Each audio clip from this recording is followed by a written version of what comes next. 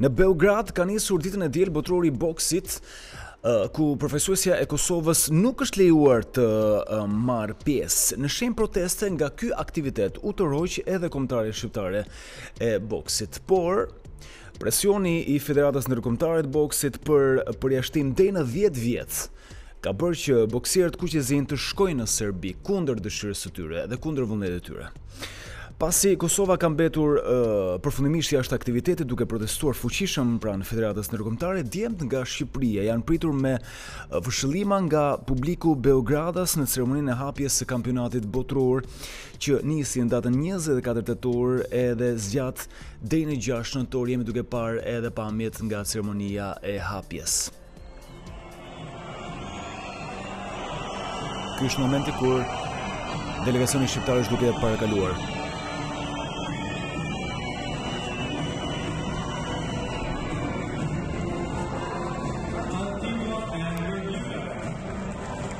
Dëgjohet fare qartë, e gjithë atmosfera edhe fërshëllimat që nuk janë për mbështetje, kjo është pak, po e sigurt. Gjithë këtë histori e bisedojmë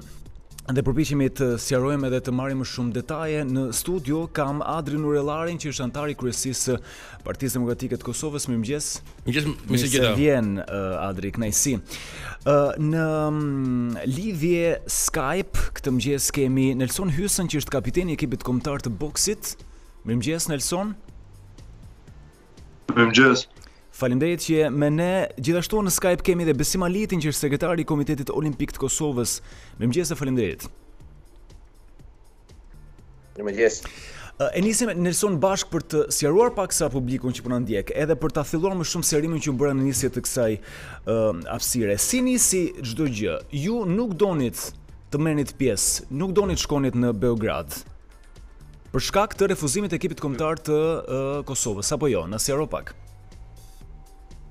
Në fakt, ne kena shku përpara kombtares Kosovës, kena mrrit në Beograd, edhe normalisht kena lidhje midis dy federatave, midis dy shteteve, folëm me Federatën e Kosovës, na mhm. thanë që do vim mrapa, domethënë, se mhm. po interesoheshin për hotel që të jena tanë bashkë një hotel, mhm. dhe kur na telefonojnë na thonë që nuk na lënë me kalu. Mas kësaj telefonate domethënë, jena lidh shumë herë, dhe shumë bisedime e sipër, në mënyrë që edhe ne mos marrim pjesë sensibilizohemi domethënë me, me kombëtaren e Kosovës. Mhm. Mm dhe uh, që nga ky moment çfarë ndodhi? Pati një reagim të Federatës Ndërkombëtare të Boksit, cili ishte ky reagim? Po pat një reagim prej shumë njerëz, na kontaktuan shumë njerëz, jo vetëm prej Federatës tonë ose prej Federatës së Kosovës, por prej shumë njerëz. Edhe gjithashtu edhe drejtuesit e Federatës së Kosovës, edhe na shpjeguan që është në qoftë se bëhet një bojkot, se ne kishim shku, ishim në Beograd, nuk është se nuk u nisëm prej Shqipnie edhe Prej Shqipnie ne nuk po lëvizim më. Ne kishim shku në Beograd, edhe sikur të bojkotoshim, do të sankcionoheshim me dhet vite përjashtim nga gjithë aktivitetet e AIBA-s dhe të EUBC-s, domethënë, Komitetit të Federatës Europiane dhe Botërore të Boksit. Mm -hmm, mm -hmm. Dhe normalisht, trajneri jonë, Zoti Gjoni, domethënë, bashkë me ne, bisedum, domethënë që Mirë se po i bëjmë keq vetit, se po ikim, po ishte me me i bo keq edhe për 10 vite tjera boksit shqiptar. Mhm. Pra penali edhe bile drejt bile drejtuesit e Kosovës, domethënë Federatës Kosovës ishin ato që na shpjeguan ma gjatë ose ma mirë që është shumë ka shumë problem nëse lëvizim, nëse ikim nga këto domethënë sepse ndryshe ishte po mos kishim marr, por ne kishim marr dhe ishim Beograd. Mhm.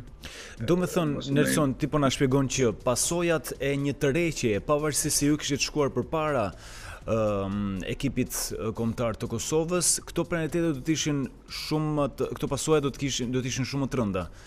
Thua deri në 10 vjet, po. uh, përjashtim, penalizim nga aktivitetet ndërkombëtare. Po. Mhm. Mm mhm. Mm A është e vërtetë që keni pasur edhe nxitje nga qeveria shqiptare për të mos e braktisur këtë aktivitet? Shiko, në fakt me me qeverinë, me federatën e me këto është marrë profesori. Trajneri kryetrajneri kombëtar Zoti Zef Gjoni, edhe un po ta kaloj tash se e kam këtu afër. Po. E ta sqaron situatën me politikën e këto. Mund ta kaloj këtu afër? Pa diskutim.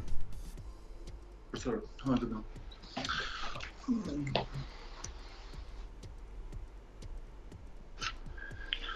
Zoti Gjoni mirëmëngjes Alo, mirëdit Mirëdita Faleminderit që jeni me ne Gjithashtu.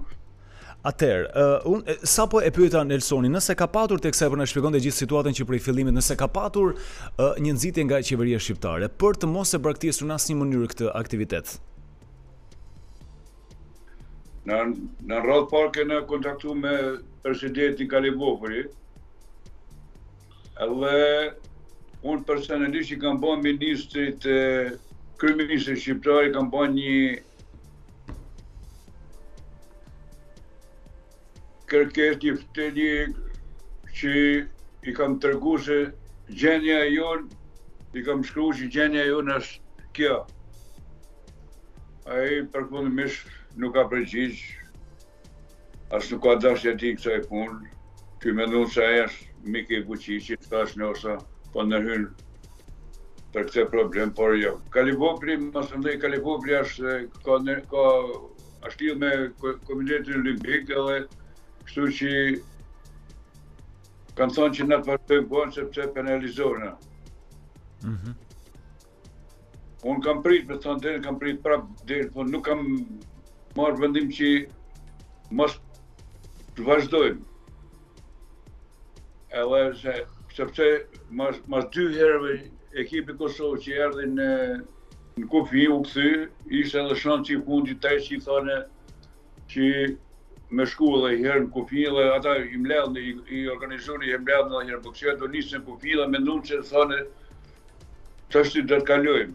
Edhe në në njëjtën kohë ishte dita e prezantimit ceremonisë edhe peshimit boksierave. Mm -hmm. Edhe na duke mendu se ata vinë, na shkum me vazhdu me pa ceremoninë që, që e patë edhe ju sa e bukur ishte, që nuk e prishim këtë, Gjithsesi na prap edhe këtu hala nuk i kishim dhënë mendimin tonë, tuj pa këtë ceremoni edhe na prap menduam që ta braktisim aktivitetin se jo se po kemi frikë ne si sportista ose boksiera, mm -hmm.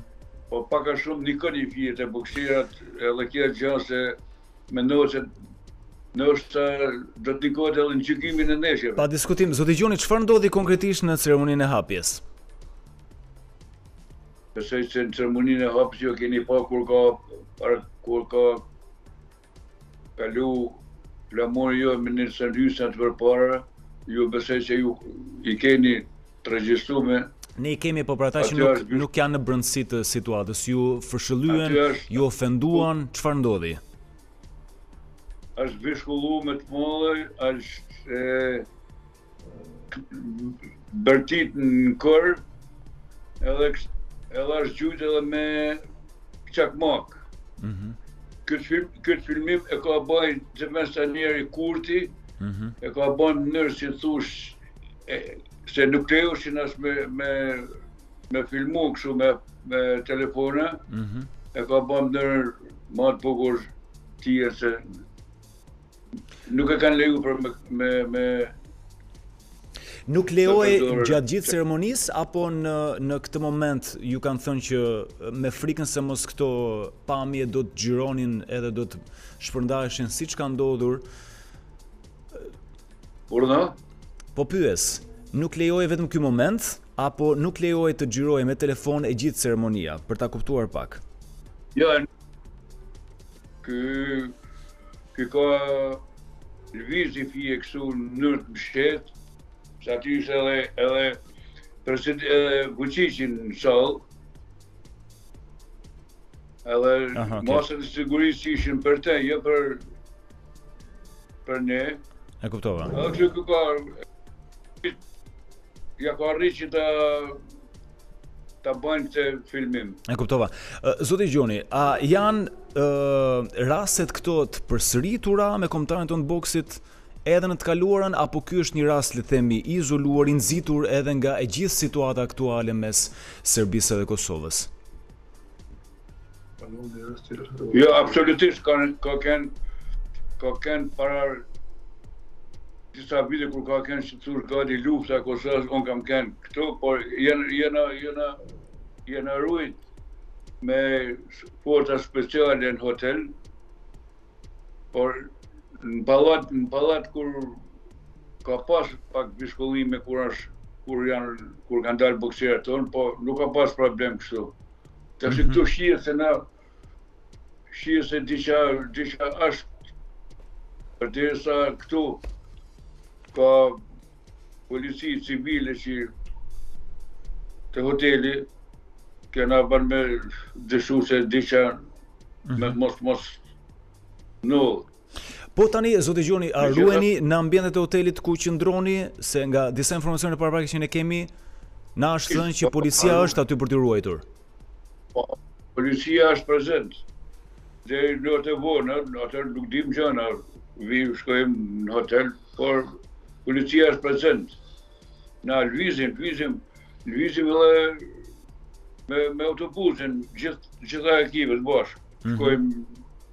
Pallat sportit, në servite, për të banë në palestër të servite, për shkojmë të organizumë. Mm -hmm. Shoqëroheni nga policia kur lëvizni? Po, jo, nuk kena pas rast për me lëvizë, nuk kena një, kena pas një problem për me blejt një pajisje për boksierin tonë, mm -hmm. por është në gjithë momentin kur kena, kur kanë, kur kena shku me autobusat që në palestër, edhe aty Ka kanë të qenë mhm, mhm, mhm. Nuk kena frikë për këtë punë. Nuk keni frikë, jeni të qetë. Si, si mas e, një informacionit, një, e, ka thonë, kryeministri ju ka thonë, jeni në besën teme, pra rrini pa merak, mos keni frikë. Edhe jeni rahat, me thënë. Ne s'kena frikë, ne kena frikë vetëm se mos penalizohena në gara. Mm -hmm. Pra, meraku juaj është për mbarvajtjen e garës dhe gjithë kompeticionit, më shumë se, se, se sa siguria fizike, për të cilën dikush tjetër mund edhe të shqetësohej me gjithë atë rrëmujën. Edhe, edhe boksierat këtë presion e nin, janë i fije pak shumë, se thonë, nuk kena problem, po mos na, mos na ndodhen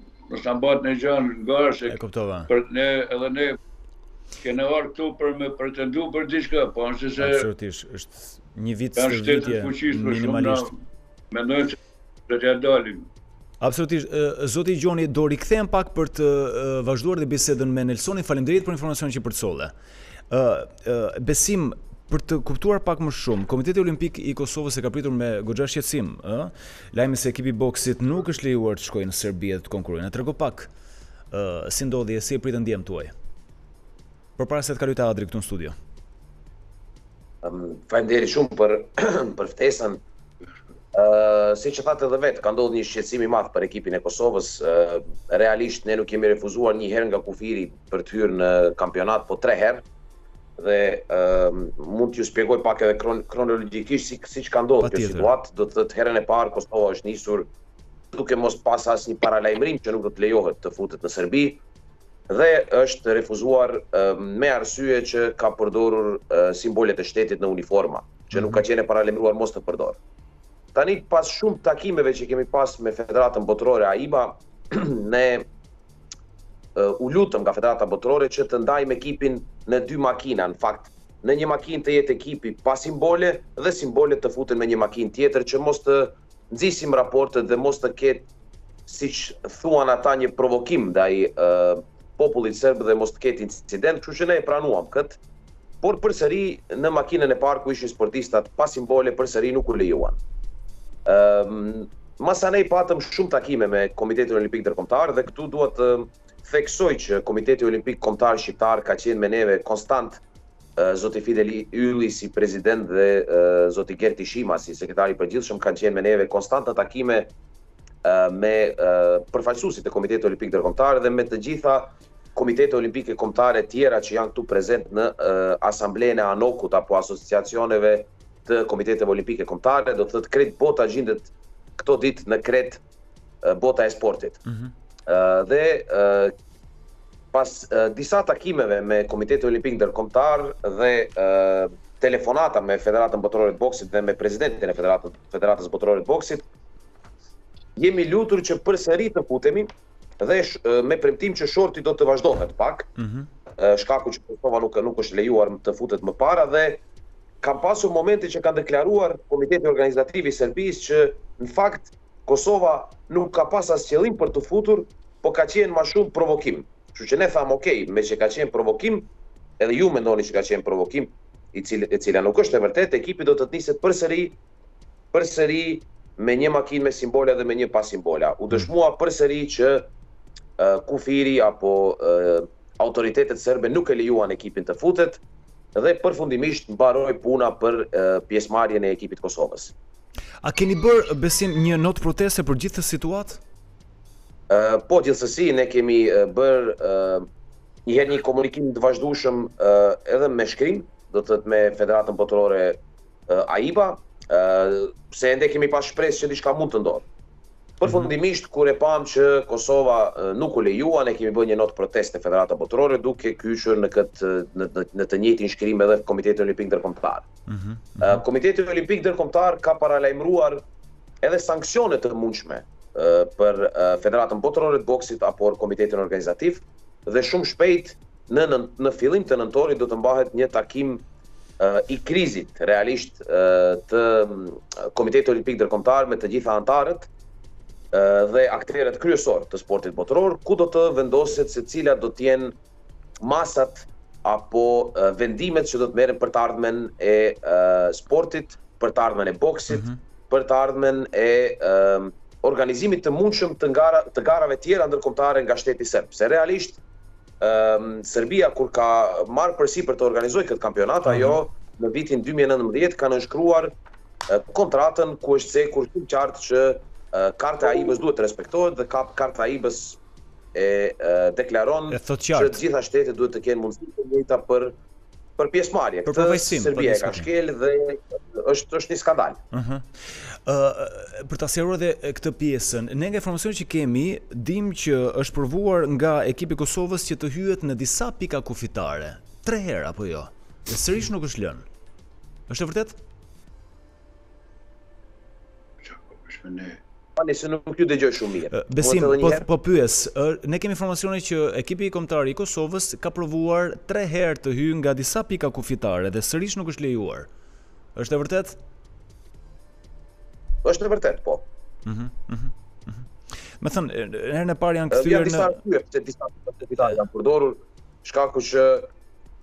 komunikimi dhe transporti është i ndryshëm në pika kufitare në kohë të ndryshme të ditës, do të thotë. Mhm, mhm. Nga një pikë arritet direkt në autostradë dhe ndoshta është koha më e shpejtë. Pika e tjetër është pikë kufitare më e madhe dhe po. ndoshta pritet më pak. Kështu që ka pas arsye të ndryshme të komunikimit apo të logjistikës pse Kosova është mhm. munduar të futet në pikë të ndryshme, se nuk është aq naive sa të mos kuptojë që pavarësisht nga cila po kufitare futet regjistrimi ekziston, kështu që Pa diskutim. Ka pas arsye logjistike, kurrgjë tjetër. Besim pyes sepse e kam itinerarin, le të themi kështu, itinerarin e pafat të ekipit kombëtar të Kosovës e kam këtu në në letër përpara meje dhe po i hidhja një sy, po më mirë që na e sqarove. Adri, ë uh, rikthehemi në studio. A si, dikush me të pyet se si duhet trajtuar një rast i tillë? Edhe a duhet të ndërhyjë politika, a duhet të ndërhyjë uh, diplomacia në raste dhe situata të tilla apo le të themi sporti ka qeveritë e veta? Së pari njëherë unë përgëzoj përfaqësuesit e ekipit të Shqipërisë që kanë treguar dhe dëshmuar solidaritet mm -hmm. dhe këtë lloj vetëdije kombëtare. Do doja që ky lloj vetëdije dhe ky lloj dimension solidariteti të ishte edhe mes qeverive të Tiranës e Prishtinës, të cilat për arsye të liderëve personale janë në pikën e tyre më të ulët prej shumë vitesh si marrëdhënie dyshtetërore. Ë Ky nuk është fatkeqësisht nuk është rasti i parë që ndodh. Para dy vjetësh për shembull pati një, një situatë e ngjashme përfaqësuesja e e Kosovës e, e karates u ndalua që të merrte pjesë në Kampionatin Evropian të Karates në Novi Sad. Pra kjo nuk është një kjo është një vazhdimësi. Mm -hmm. Dhe padyshim ju keni të drejtë kur thoni që duhet të ndërhyjë ë diplomacia dhe politika, unë nuk e di nëse ka pasur kontakte qoftë me ambasadën e Republikës së Shqipërisë në Beograd, qoftë edhe me zyrën përfaqësuese, sepse Kosova ka një zyrë ë diplomatike në në Beograd që në të kaluarën është angazhuar dhe është përfshirë në përpjekje për të zgjidhur këto lloj situatash. Unë nuk e unë e shikoj me keqardhje këtë që po ndodh, por nuk e shikoj si surprizë për hir të së vërtetës. Mm -hmm. Dhe ky është një leksion që do ta marrë politika në mënyrë të veçantë. Nga njëra anë ky është një leksion ose një shuplakë që do ta marrë qeveria e, e Shqipërisë, sepse është proklamuar dhe trumpetuar me të madhe Ideja e Ballkanit të Hapur dhe një lloj glorifikimi i përmirësimit të raporteve me Beogradin, por këto situata, këto ngjarje tregojnë aq më tepër kur në atë sallë ka qenë i pranishëm presidenti Vuçiç, tregojnë që ajo është një farsë e madhe sepse asgjë në terren mirëfilli s'ka ndryshuar.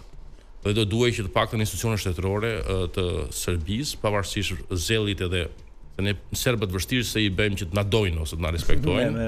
Ajo është një proces që do një kohë të gjatë për t'u pajtuar, nëse mhm. mundemi, mhm. por të paktën institucionet shtetërore do të kishin sjellje dinjitoze dhe do duhej që të të siguronin maksimumin e e kujdesit edhe lehtësimit të kalimit të ekipit. Kështu që aty është një problem shtetëror, që do duhet padyshim me ndërhyrë politika. Po kjo është edhe shuplakë edhe leksion edhe për qeverinë e Kosovës. Mhm. Mm Pse e kemi? Sepse zoti Kurti e ka shpërfillur dhe nëpërkëmbur idenë e dialogut dhe zgjidhjes së problemit me Beogradin. Ka thënë që është prioriteti im i 6 a i 7, ka thënë që fare mirë mund të jetojmë neve edhe pa na njohur Serbia pikërisht.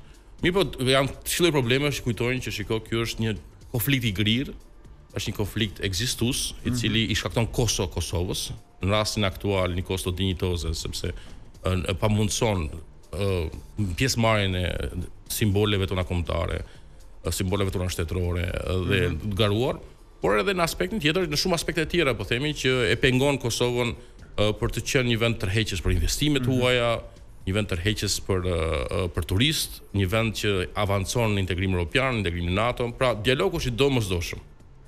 Dhe episodi si ky i sotmi tregon që sado të përpiqesh ë ta shpërfillësh, ajo është elefanti në mes dhomës. Mhm, mm fiks, fiks.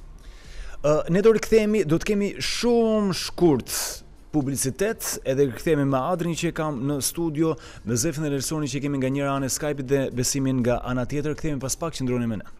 Rikthehemi live në studio në program Miq të dashur, jemi duke diskutuar për moslejimin e ekipit kombëtar të um, Kosovës në boks për të marrë pjesë në botërorin e boksit që ka nisur ditën e diel edhe që po mbahet në Beograd. Edhe për gjithë rrëmujën e krijuar edhe pas dëshirës së ekipit kombëtar të Shqipërisë për të mos qenë prezent sepse ekipi i Kosovës nuk është lejuar, megjithatë ekipi ynë ka vajtur, ka qenë i pranishëm në ceremoninë e hapjes, edhe është duke marrë pjesë aktualisht. Jemi në Skype këtë mëngjes me Zef Gjonin, që është trajneri i ekipit kombëtar të boksit, me Elson Hysën, që është kapiteni i ekipit kombëtar. Nga ana tjetër kemi Besim Alitin, sekretarin e Komitetit Olimpik të Kosovës dhe në studio kam Adri Nurellarin.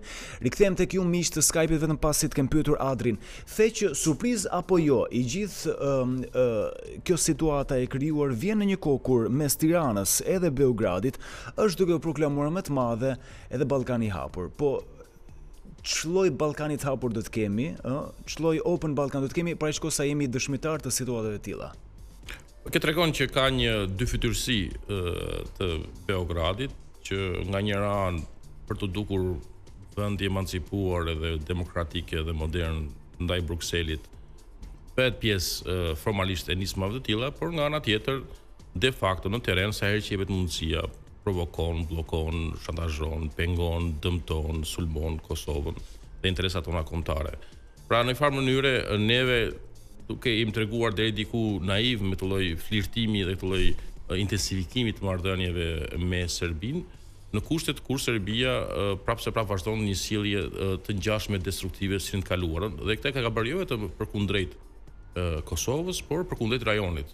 Ne kemi parë çfarë ndodhi në Mal të Zi para pak javësh, që është një tjetër demonstrim i papërshtatshmërisë edhe papërgjegjshmërisë dhe kërcënimit që vjen nga Beogradi përkundrejt stabilitetit në rajon. Dhe kjo kërkon që Prish... Tirana të tregohet në mënyrë më të kujdesshme, mos të shërbejë si një lloj makiazhi për të lehtësuar agjendën hegjemoniste dhe shoveniste të të Serbisë, e cila tani është thjesht më e sofistikuar, por nuk kanë hequr dorë. Këtë e shikojmë nga sjelljet, nga veprimet, nga aksionet, nga agresiviteti i reagimeve që vijnë nga Beogradi. Do duhej që të kishte një koordinim më të mirë midis Tiranës e Prishtinës, por këtu është përgjegjësia kryesisht e Prishtinës, me faktin që ambiciet e kryeministrit Kurti kanë bërë që të dëmtojnë këtë raport. Kujtoj këtu që në vend që të merrej zoti Kurti qoftë me formimin e programit të ri qeveritar, qoftë me formimin e ekipit të tij qeveritar në, në pas zgjedhjeve të shkurtit, mm -hmm. qoftë edhe me ndërtu, po themi, institucionet ose me kërku vaksina, zoti Kurti ka kaluar muajt e parë pas marrjes së pushtetit për të bërë fushatë në Tiranë, që është një rast pa precedent kur një kryeministër të mos i mjaftojë pushteti që tashmë ka në shtetin e vet e të kërkojë që të bëhet pjesë edhe mhm. pushtetit në shtetin fqinj. Pra kemi një situatë abnormale, në kushtet kur do duhej që marrëdhënia midis Tiranës dhe Prishtinës ishte shumë e ngushtë, sepse sfida të tilla ekzistojnë dhe Kosova ka nevojë për mbështetje dhe për këtë lloj raporti të ngushtë me Republikën e Shqipërisë. Por më e rëndësishme nga të gjitha Këto të kujtojnë sa e rëndësishme është që të shikohet me seriozitet dialogu. Takimet e fundit të dialogut midis zotit Kurti dhe Vuçiçi kanë qenë përpjekje zotit Kurti për fituar më shumë vota duke folur me qëndrim, mbajtur qëndrime populiste, Aha. duke dhënë libra, duke bërë deklarata emocionale, duke dashur që të fitonte më shumë vota për zgjedhjet lokale në në Kosovë, por pa dashur seriozisht që ta shtyjë përpara dialogun. Dialogu është një janë si patatet e nxehta, në mos të djegin ato të nxinj, pra, mm -hmm. pra kanë kosto të mëdha, mm -hmm. por dallimi kryesor midis burrështetasit edhe politikanit është pikërisht kjo. Një politikan mendon për zgjedhjet e ardhshme, siç mendon dhe zoti Kurti, mm -hmm. kurse një burrështetas mendon për brezat e ardhshëm dhe e shtyn përpara dialogun dhe me pavarësisht kostove të mëdha që mund të shkaktojnë në popularitet një marrëveshje me ish-armiqtë. Kosova sot ka nevojë për për ta shtyrë para dialogun, për të pasur një marrëveshje gjithëpërfshirëse që çon në njohjen e ndërsjellë, edhe kur ta kemi atë marrëveshje, prapë do jetë shumë e vështirë që të pajtohemi si popull. Kjo ka ndodhur në vendet e tjera, shikojmë akoma që ka trysni e mhm. konflikte, edhe atje ku tashmë ka pasur marrëveshje. Imagjinoni tani në kushtet kur ne nuk e kemi një marrëveshje, ne kemi një konflikt të ngrirë midis Beogradit dhe Prishtinës dhe pa u zgjidhur ai është e vështirë që të presim një lloj mirëkuptimi, mirësjellje, respekti midis dy popujve. Prandaj ë ky është një lloj ngjarje e pafat edhe e pakëndshme që duhet na shtyjë të tregohemi më të përgjegjshëm, më serioz për tema të mëdha, pavarësisht peshës elektorale që ato kanë. Ama duhen kaluar, edhe duhen tejkaluar sidomos nga ana e ekipit kombëtar të boksit që do duhet të garojë edhe zoti Gjoni e përmendi pak më herët. Nuk kemi frikë tha për sigurinë tonë fizike, policia shumë mirë bën që ruan dhe është vërdallë për të eliminuar dhe për të sheshuar çdo lloj mosmarrëveshje apo incidenti, po mbi të gjitha meraku qëndron tek trajtimi fair, i drejtë i ekipit tonë. Nelson, Që nga prej fillimi deri tani, a është vënë re një mungesë trajtimi të barabartë të ekipit tonë në pallat sporti krahasimisht me skuadrat e tjera, do të thënë, apo ndikon e gjithë kjo situatë në gjykimin e drejtë të ndeshjes, ndeshjeve? Alo, do ta marr fjalën unë, lutem. Po, të lutem, je i mirëpritur. Po, Ndëgjova, ndëgjova tani analistin duke folur. Po. Përmendi, përmendi Vuçiqin edhe kryeministrin e Kosovës, Kurtin. Po, zotni, pse e anashkalove kryeministrin shqiptar, që është miku i Vuçiqit, që me ndërhymje sado pak t'vogël e si mision, mund mund të kalonte kjo shumë lehtë. Thuaji ti analistit, zotni e pave ceremoninë e hapjes, si u vishkullu, si u gjujt flamuri shqiptar, këtu ta kapni, kapni ju, e ta kapte qeveria jo me kryeministrin tonë, dashën. Atëherë vazhdojnë probleme tjera. Flamuri është i shqiptarëve, i gjithë shqiptarisë, nuk është as i jemi si bëks, as i gja, është gjujt, asht gjujt Shqipnia, nuk jena gjujt ne, si sportista, se ne s'ka problem, po na gjujt, na jena mësu, asht gjujt flamuri, asht vishu flamuri shqiptar, këtu të jo ti zotni analist, sa përmen Kurtin, Vuçiq, Vuçiq Kurti, përmen Rama Vuçiq në radhë t'parë. Atëherë mundësh për me, me, me, me kalu problemet në rrethe tjera si i doni ju si zgjidhni ju si në Tiranë.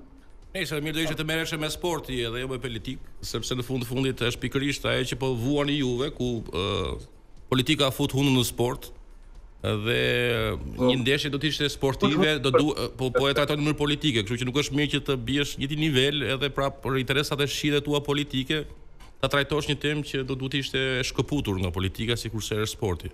Por me sa duket s'më ka s'paska po, dëgjuar më herët, s'paska dëgjuar më herët që unë pikërisht kritikën e parë dhashë për naivitetin me të cilin Tirana ka trajtuar çështjen e Open Balkans dhe marrëdhënien me Serbinë si një sjellje naive dhe e papërgjegjshme me kosto për interesin kombëtar, kështu që me sa duket s'e paska dëgjuar. Për hir të së vërtetës, kjo u tha. Zoti Gjoni, ë meraku juaj, edhe Nelsoni është ai që ë ë është duke i kaluar këto ndeshje. Është vënë re edhe me me aq përballje sa ka pasur deri tani, që prej fillimit të kompeticionit. Ai meraku ka qenë konkret, edhe ashtu ka rezultuar në të vërtetë?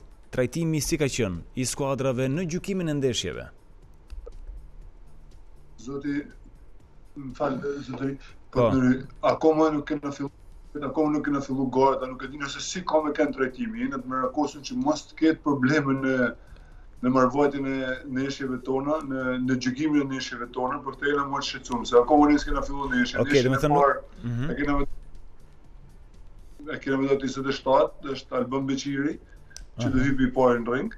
Mhm. Edhe nuk e nuk e di na nuk e di nëse nuk mund nuk mund të themi se si mund të trajtohemi, po vetëm një rast kena pas për m'u trajtu, te domethënë te dalja me flamur, Te ceremonia e prezantimit të shteteve. Të kuptoj, mendova se garat kishin filluar, prandaj pyetja ishte konkrete, nëse do të ishte mbajtur një nga përballjet, do ishte vënë. Po ekziston frika apo jo Nelson?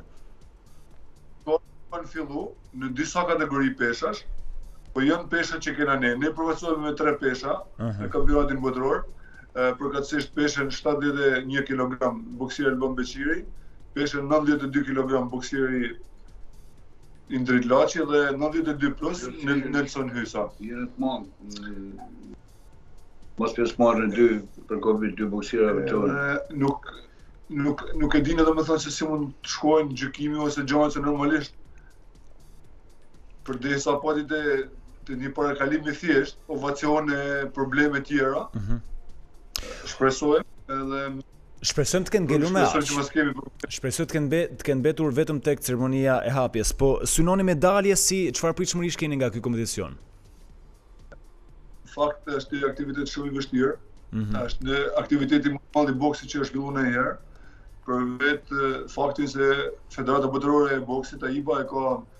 e ka i ka ba një trajtim të veçantë kësaj radhe sepse ka vu stimuj shumë të mdhaj për kampionin edhe për medalistat.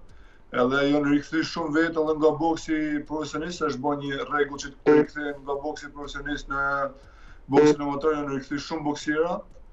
Dhe aktiviteti është shumë i vështirë.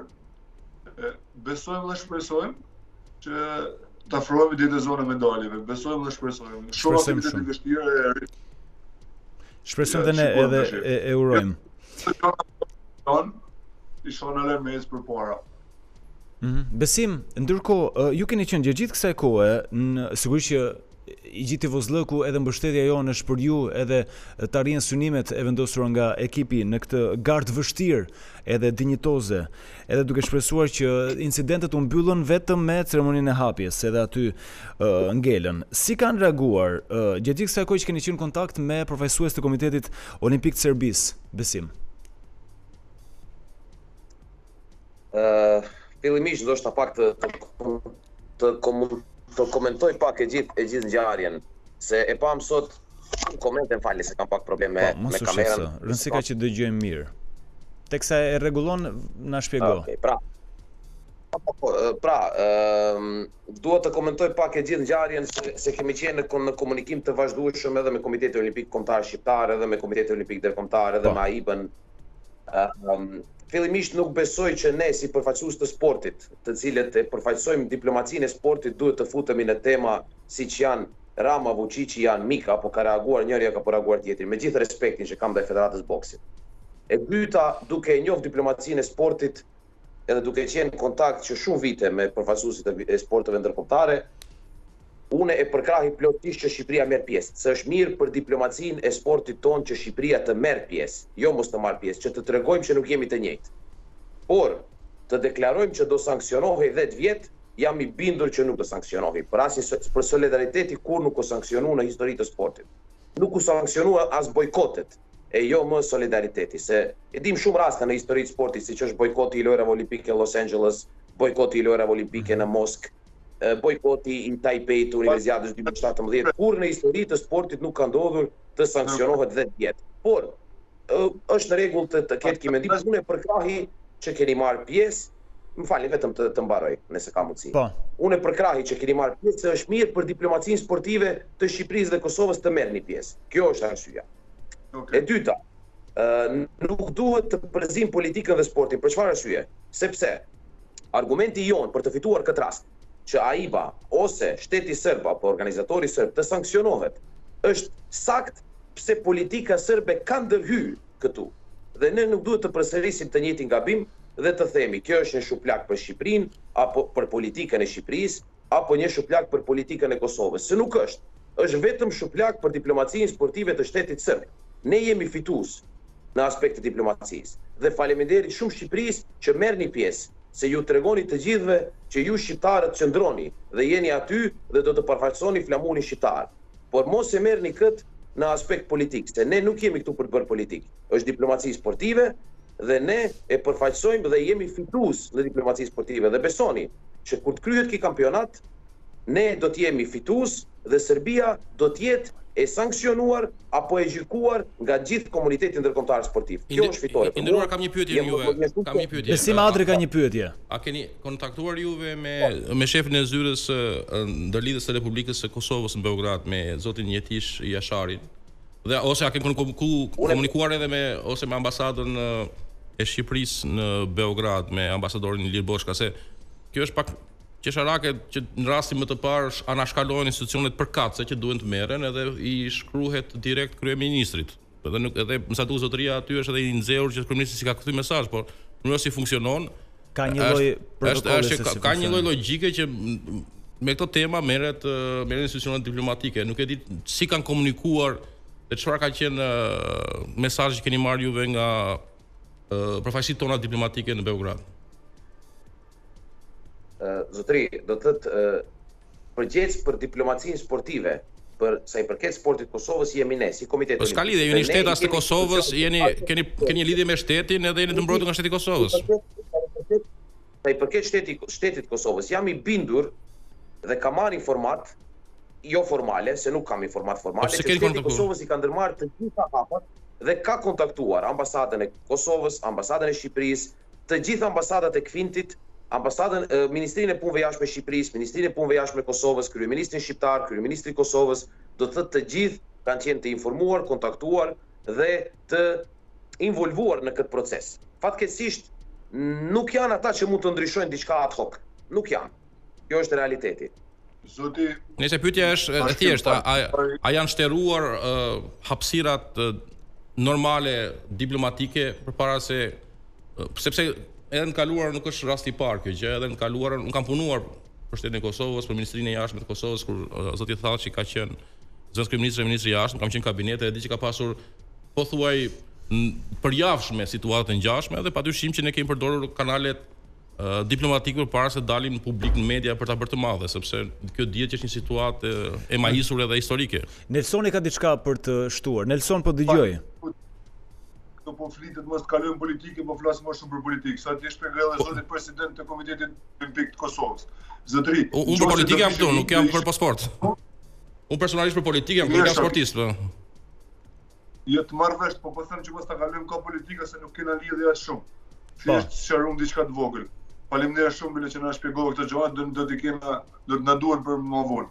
Zotëri, pikërisht do shi, do ishim sanksionuar 10 vjet, edhe për këtë të flas shumë qartë, edhe edhe të flas me bindje të plotë, sepse ekipi i Rumanisë është i sanksionuar ka 5 vite që është i sanksionuar vetëm për një mospjesëmarrje, sepse ne kena ardhur, jena akredituar, Kena zonë vende në hotel, edhe në qoftë se do kishim ik, nuk do quhej, nuk do quhej sikur nuk kena ardhë, po ishte braktisje, edhe të braktisësh aktivitetet e AIBA-s, nuk do ishte pjesëmarrës për 10 vjet, gjithë Shqipëria në aktivitet kombëtar. Kështu që kjo ka ndodh, sepse nuk deshëm m'u dënu, jo sepse nuk u solidarizum, se u solidarizum që në fillim, kena pas telefonata nga tana anët, edhe nga gjitha krahët, edhe kjo që ju them, Është shumë e vërtetë sepse po të ikshim, pyet pyetni më shumë sekretarin e Federatës Boksit të Kosovës se din më mirë me ju shpjegu ndoshta nga termat e boksit dhe ju mund të jeni te Komiteti Olimpik. Ose çit nisi, edhe kontaktu me Kjo ishte problemi jonë se nuk kishim një dëshirë të madhe, se nuk ka një sportist dëshirë të madhe me hyp në ring ose me me parakalu me flamura dhe m'u gjujt me me gjana ose me ndigju fishkëllima ose brohoritje për për të keq, domethënë. Mm -hmm. Kështu që kjo ishte gjithë pjesa.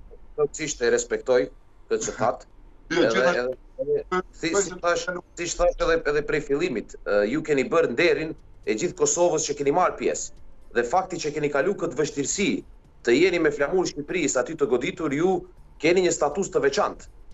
Dhe Absolutisht. Unë vetëm thash që sanksionimi që ish bë për për Shqipërinë nuk kish qenë sipas kartës së AIBA-s, se karta e AIBA-s nuk e definon kështu. Po funksionon sepse kemi ardh, jemi jemi akomodu në hotel. Nëse nuk do ishim akomodu kena ardh në dorën e AIBA-s. A kupton?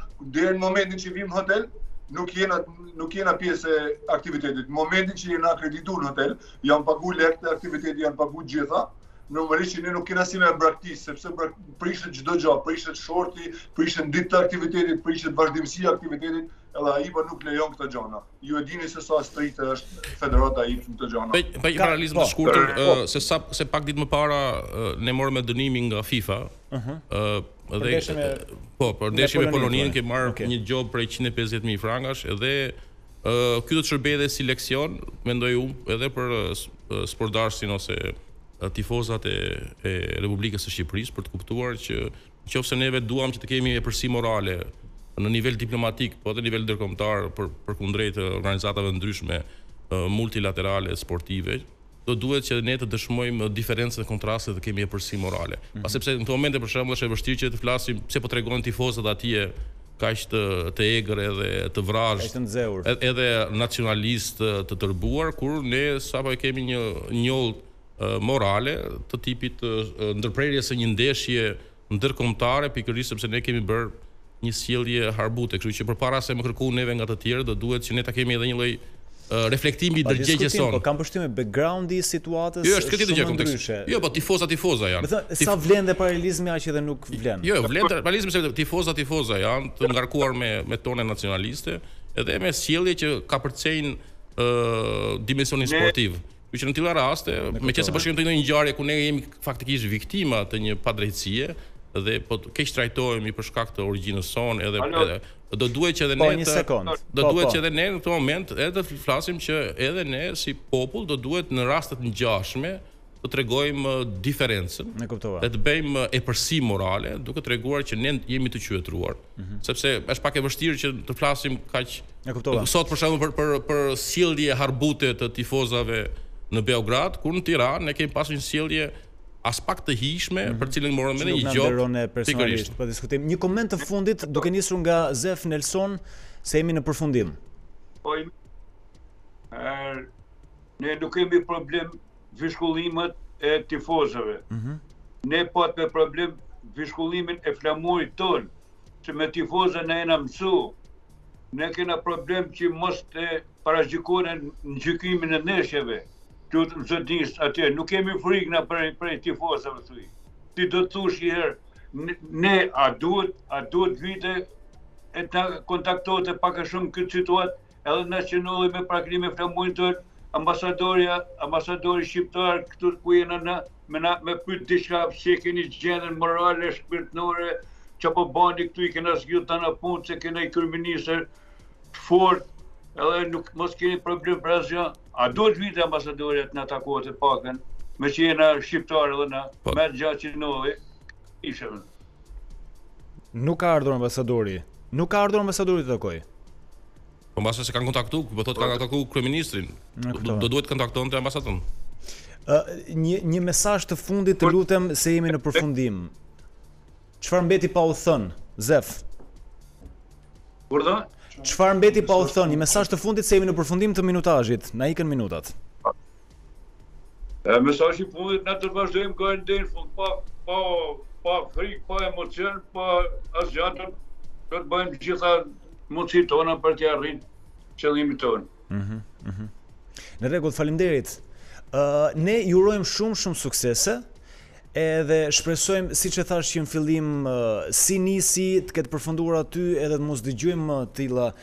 incidente që nuk i kanë aspak hije jo vetëm një gare edhe një kompeticioni sportiv siç është botërori i boksit që për më tepër është një garë goxha dinjitoze po edhe ne duke qenë se kemi sakrifikuar shumë edhe meqenëse jemi këtu i urojmë suksese Nelson edhe gjithë konkurrentëve në kategoritë e tyre në 71 kg, 92 edhe 92 plus. Kështu që ju përshëndesim edhe shpresoj ta shihoni këtë pjesë të mbetur të të garës. Ju, ju përshëndesim, ju falenderojmë shumë për interesin dhe dua të sqaroj, mm. meqë po përfitoj prej rastit televizioni ju e shumë i ndjekur dhe ju ndjekin, këtu dalin kampionët e botës, në kampionat botëror, jo në në janë media në marrina që i shohim kampiona bote, që prej këtu dalin kampionët e botës, normalisht synojmë dhe kena kena mendimet tona që të arrijmë sa ma lart, nuk e di se sa do ecim, por këtu nuk zgjidhet askush. Këtu zgjedh shorti. Nga këtu dalin kampionët e botës dhe nga këtu fillon e gjitha. Ishe shumë i qartë. Besim, faleminderit shumë që ishe këtë mëngjes me ne. Faleminderit edhe juve, suksese ekipit të Shqipërisë dhe shpresojmë që do të kthehen me suksese maksimale. Shumë suksese. Pa diskutim, shpresoj të arrihen edhe objektivat edhe ato çfarë kanë në qëllim ekipi kombëtar i Shqipërisë. Adri, faleminderit. U desh një incident i tillë që ne të shiheshim në këtë studio. Po, po urime një vend fenomenal. Faleminderit shumë. Ngela me kokën përpjetë, duke pa ambientin. Çudi se ti e ke ko, e ke kokën plot, edhe ke edhe kështu rëndon, e ke ulur gjithë kohës. Kthehemi pas pak miq, uh, qëndroni me ne, Wake Up vazhdon.